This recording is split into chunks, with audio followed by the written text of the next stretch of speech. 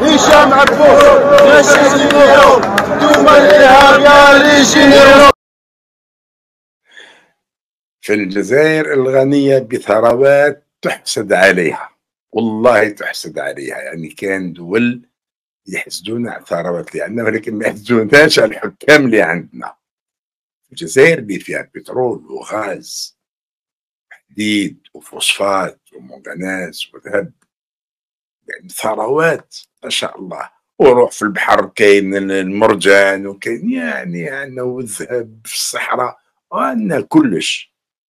في هذه الجزائر شعب فقير بشهادة النظام. بشهادة العصابة الحاكمة. حيث أصبحت اليوم ولا اليوم في الجزائر يمدوا شهادة الفقر للناس اللي يطلبوها واللي هما فقراء كاينين ما شاء الله. هي ديجا واحد قال لي يا ولدي أنت الطبيب راهو فقير في الجزائر ما يقدرش لحم كل يوم. الطبيب المحامي راهو فقير الاستاذ الجامعي راهو فقير. فما بالك بالأستاذ في الثانوية أو غيره الناس تقدرش تاكل لحم كل يوم ما تقدرش تشري dessert.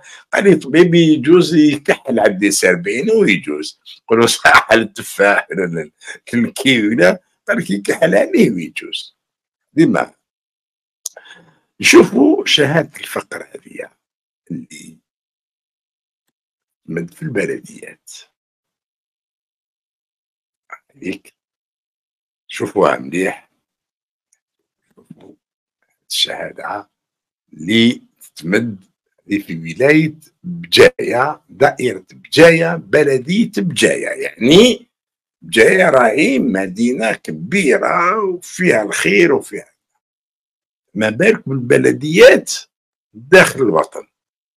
يقول لك يشهد رئيس المجلس الشعبي البلدي هاي من فوق شوف يعني شهادة فقر. رئيس المجلس الشعبي البلدي لبلدية بجاية. بعد الطلب المقدم. من طرف السيد ما يحطوش اسمه المقيم ببجاية شارع كذا ما يحطوش اسمه ويشهدوا انه آه، راهو فقير. فيها هذا تغطى باش ما نسترو السيدة. كان راجل تقدم بطلب أنا فقير. donc يا ناس يلي ما كنتمش تلحقوا على آه، نهاية الشهر.